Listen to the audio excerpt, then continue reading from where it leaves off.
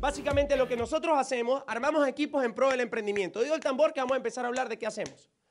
Armamos equipos en pro del emprendimiento. ¿Por qué creemos en el emprendimiento? Porque el emprendimiento en un momento era una moda y hoy en día, y va a ser en Europa y en España, inevitable de que usted haga algo. Va a ser inevitable. Te puedes leer cualquier libro y te vas a dar cuenta. Puedes buscar, googlea, situación económica España. No me creas a mí. Googlea. Porque uno le cree más a Google que a, cualquiera, ¿verdad? Googlea, San Google. Googlea. Y te vas a dar cuenta, ¿me entiendes? O sea, es inevitable. Ahora, el gran detalle en dónde. Entonces nosotros armamos equipos en pro del emprendimiento y básicamente para eso el proyecto que nosotros hacemos se basa en varios pilares. El primer pilar es tener voluntad de educarse.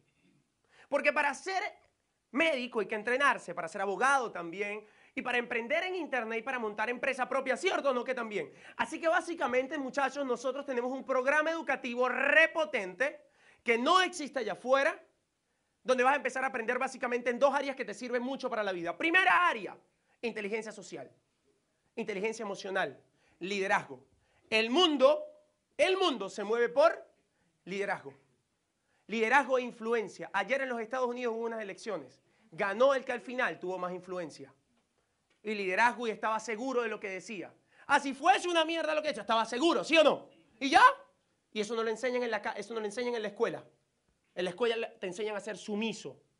Liderazgo e inteligencia social. Porque para trabajar con gente necesitas aprender a armar equipos, ¿sí o no? No, yo tengo un equipo de trabajo, somos cuatro. Te estoy hablando de, de, tener equipos de cientos y de miles de personas si aprendes a hacer esto bien. Punto número uno, eso.